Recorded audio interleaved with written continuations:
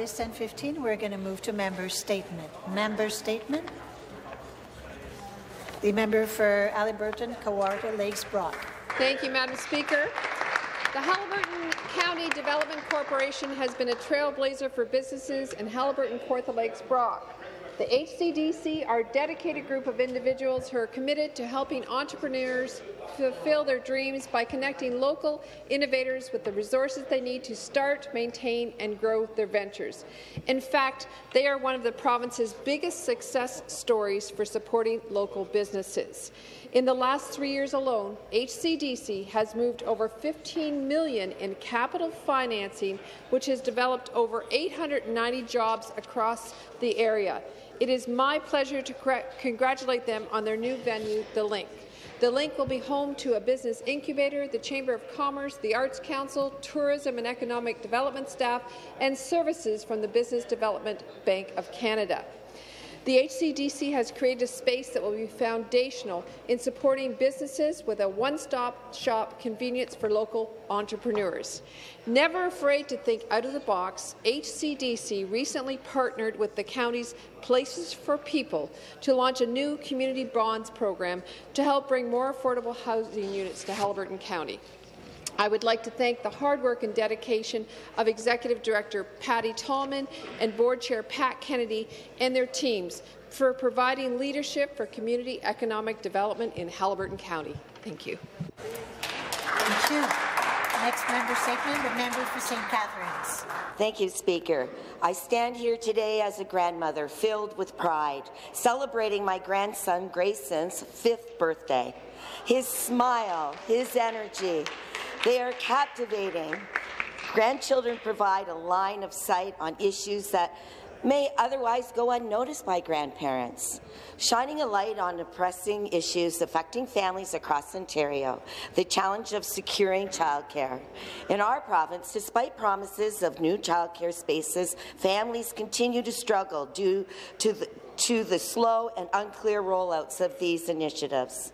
The reality in the Niagara region and everywhere is a growing waitlist of over thousands of names sounding an alarm bell to urgent need of accessible, affordable childcare options. This struggle is compounded by the fact that while some steps have been taken, like wage increases for early childhood educators, we still see a significant gap in support and resources for all childcare workers. The slow rollout in Ontario is primarily responsible for the lack of subsidized spots, severely impacting the ability to, and quality of care.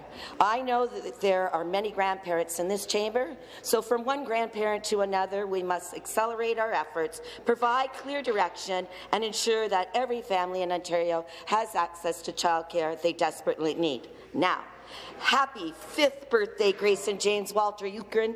Uh, you are a symbol of the bright future we are fighting for, and Grammy hopes all your wishes come true. Thank you. Next member statement, the member for Flamborough Glanbrook. Good morning, Madam Speaker. It's my pleasure to rise today to highlight an exciting initiative announced yesterday at Brenby Farms in my riding of Flamborough-Glanbrook. Speaker, I'm sure you'll be delighted to learn that our government, through the Sustainable Canadian Agricultural Partnership, is investing up to $25 million to expand production capacity and boost energy efficiency in the ag and food sector. The money will be provided to eligible farm and food processing businesses to help them invest in innovative technology, equipment and processes. Sean Bren, president of Brenby Farm, said today's announcement is welcome news for the ag sector. Growers are continually looking to innovate in order to manage constantly rising input costs, address labour shortages and market instability in an effort to keep their farms sustainable for the long term. Costs that share supports like this will help jumpstart these investment decisions and support the viability of locally grown fruits and vegetables. I applaud our government's forward thinking and encourage ongoing collaboration that aligns with keeping our farms and agri-food sector resilient and strong now and into the future. And I would like to thank Sean and all of Brenby Farms for hosting the event and for sharing his thoughts on this exciting opportunity for the agriculture community across Ontario. Thank you.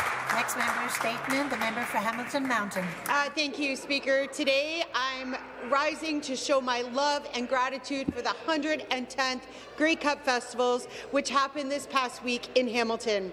Thank you to the Hamilton Tourism and Grey Cup Committee, who did not miss a single detail. They worked tirelessly to bring fans from across the country to the Hammer. I was honoured to be part of the Stampede Pancake Breakfast hosted by the Calgary Grey Cup Committee and Legion 163 in my riding of Hamilton Mountain. They served up the true spirit of community with music, laughter, and fun. Later in the day, I was continued to be amazed at the Calgary VIP event at Shoeless Joe's. Great energy with local leaders, CFL fans, and the Calgary's mascot horse, Tuffy, who was piped into the bar for a cold refreshment. Saturday started with the Spirit of Edmonton breakfast, featuring all of our CFL cheerleaders, sluice juice, and fans of every team and colour. Our annual Santa Claus Parade was next on the list, which also had a Grey Cup theme. Thank you to Santa and Mrs. Claus for sharing your special arrival and for bringing smiles to the faces of children of all ages who lined our streets. James Street North was a daytime place to be, with so many interactive events for families to enjoy and experience the magic of the CFL in all of its glory. Special thanks to the Convention Centre, who hosted nightly entertainment with theme te team-themed experiences uh, to lead us up to the big game. I know I'm out of time, Speaker, but a huge congratulations to the Montreal, Alouette, Montreal Alouettes for bringing it home for the East and looking forward to being in BC. See you next year with the Cats. Thank you very much. Member statements. The member for Thornhill. Thank you, Speaker. November marks Hindu Heritage Month, and I'm a, I'm a, proud person to represent members of this community in my riding of Thornhill.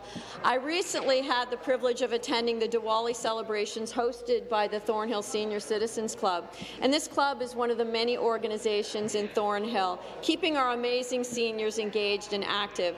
Speaker, there's nothing more effervescent than their Diwali celebration, their smiling faces, beautiful traditional clothes, fantastic food, and the music. Uh, for many years now, the president of the club, Kashmir Sankha, and his vice president, Jitu Parikh, uh, have been doing a great job of bringing everyone together with creative dance and theatre performances, not only keeping the minds and the bodies active, but also preserving a connection to their culture and keeping their rich heritage alive and vibrant. But what struck me most was that the spirit of Diwali was not just in the festive decorations, but in their genuine connections, their forging between individuals, bridging together generations, and creating a family within a community. And the senior citizens uh, group uh, have made me feel welcome, truly. They accepted me into their family, and celebrating with them is one of the highlights uh, of my year. And as we celebrate uh, Hindu Heritage Month, let's not only revel in the beauty of the lights and the joy and the music of Diwali, but also the community spirit that shines brighter than all the lights and candles combined. Thank you.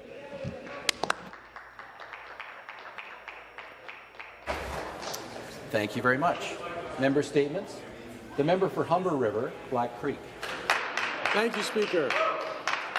Speaker, it's a pleasure to rise today and welcome the Mota family from my community. One year ago, merely days before World Diabetes Day on November 14th, the Motas received a shocking diagnosis that their own young daughter, Noemi, had type 1 diabetes. Speaker, type 1 diabetes is a chronic condition that affects children and adolescents requiring a lifetime of vigilant management. In Ontario alone, thousands of young lives are impacted by this condition, and the numbers are growing. Since receiving the diagnosis, the family dedicated much of their time to support other families affected by this condition and raise awareness. At home in our community, young Noemi decided she wanted to mark World Diabetes Day this year by organizing an awareness event at her school. And Speaker, last week, with the incredible support of her friends, who I know also wanted to be here with her today, a beautiful display of blue ribbons was constructed by students from all grades at her school to raise awareness and start conversations about the condition. Noemi, today, I'd like to recognize you for your extraordinary efforts in raising awareness about diabetes at your school. Your dedication and commitment to this cause have not only educated many, but also inspired many others to take action.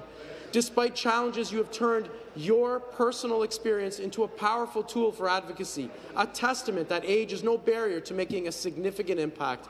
Your outstanding efforts in raising awareness has empowered your peers with knowledge, and your actions have truly made a difference in your school and community. So thank you for being a beacon of hope and an inspiration and a role model for all of us. Thank you.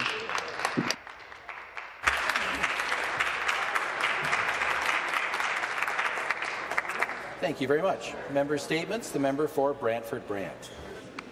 Thank you, Speaker, and good morning. I am honoured to rise today to pay my respects to a pillar of the Brantford Brant community, Harry the Admiral Jatsis.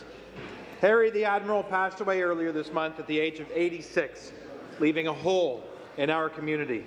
He founded Admiral Submarines in Brantford, a culinary staple in the late night food scene, known for its incredible sub sandwiches and the famous junk pile.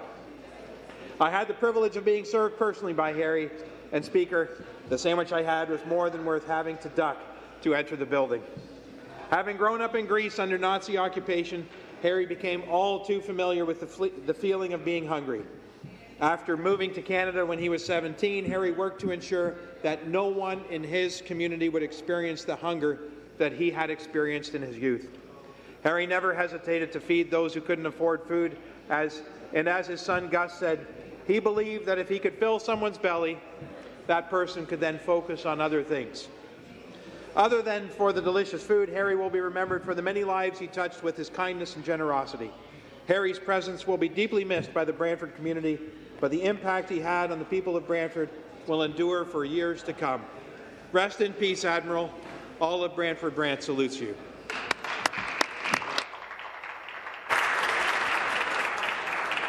Thank you very much. Member statements. The member for Don Valley East. Thank you, Mr. Speaker. As much as we try to help people in our constituency office, I am always in awe of how much members of our community help each other. A local hospital serving Don Valley East, Michael Garron Hospital, has earned its reputation as the heart of the East. It has been there during our community's toughest times, serving the most marginalized, leading with clinical excellence, and being present, present when needed the most. It led the way in setting national records by vaccinating 10,000 and later 30,000 people with COVID vaccinations in a single day. I'm proud of our community and we're proud of our hospital. We've stepped up to support MGH in every way that we can by volunteering and contributing as generously as we can. But the hospital needs more help. Making a difference cannot just be up to individuals. I walked through our emergency department last week. I've spoken about this before and I will say it again. My colleagues are struggling as the needs of the community have outgrown the emergency room. Doctors and nurses are working out of a portable in the ambulance bay. Admission wards are old and in dire condition. While the area around our hospital is budding with development and there will soon be an influx of people into our community, Michael Garron Hospital needs an influx of funding to fulfill its plan to expand and renew its facilities.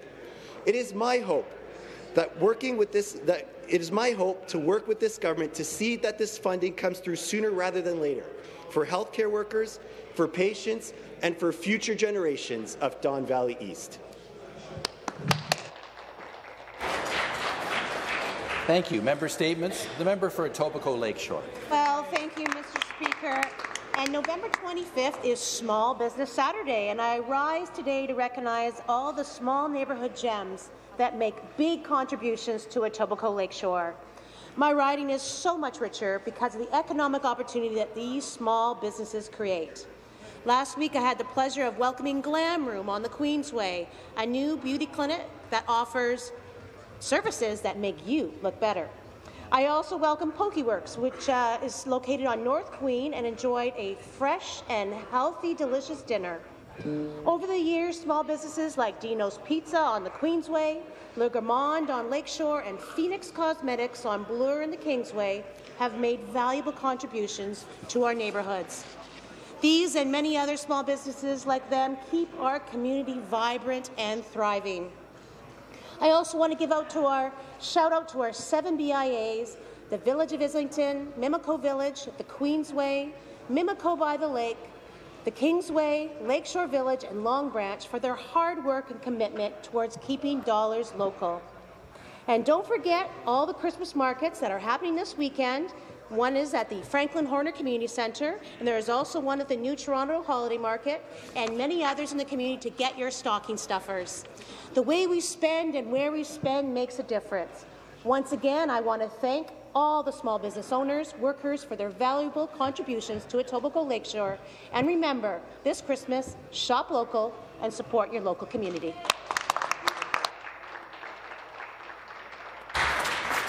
Thank you very much. Member statements. The member for Sarnia-Lambton. Thank you, uh, Speaker, and uh, it's an honour to rise once again in this Ontario legislature.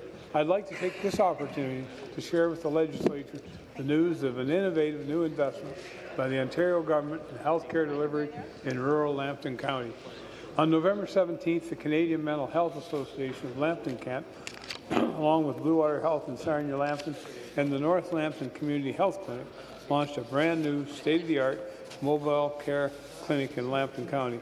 The clinic was made possible by a nearly $323,000 investment by the, the um, Government of Ontario.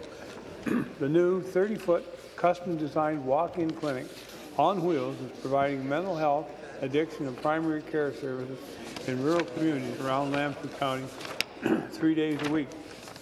So far, this mobile clinic has made stops in Sarnia, Watford, Alvinston, Thedford, and Kettle and Stony Point First Nation. The mobile care clinic includes a multidisciplinary team of mental health and addiction service providers, nurse practitioners, and social workers. The clinic itself is equipped with multiple rooms to provide service and accessibility equipment to support everyone visiting.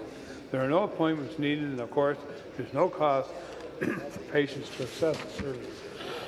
Mr. Speaker, the mobile care clinic is a great way to provide early intervention care close to home, thereby reducing the burden on rural residents in Lambton County to travel to access high-quality health care. I'm certain the mobile care clinic will have a tremendous impact on health care in Lambton County.